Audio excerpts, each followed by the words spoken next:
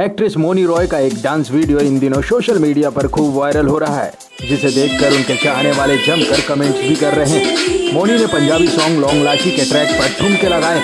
मोनी की हसीन अदाएँ बेहद खास लग रही आपको बता दें कि मोनी रॉय 15 अगस्त को रिलीज़ हो रही फ़िल्म गोल्ड से बॉलीवुड में दस्तक दे रही हैं।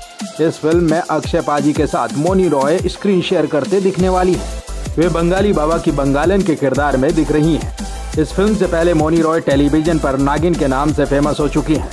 साथ ही इस वक्त मोनी रॉय डायरेक्टर आयन मुखर्जी की फ़िल्म ब्रह्मास्त्र की शूटिंग में बिज़ी हैं, जिसमें रणवीर कपूर, आलिया भट्ट और अमिताभ बच्चन भी मेन लीड में नज़र आने वाले हैं। अब देखना है कि छोटे पर्दे से लोगों को दीवाना बना चुकी ये नागिन बड़े पर्दे पर क्या धमाल मचाती है।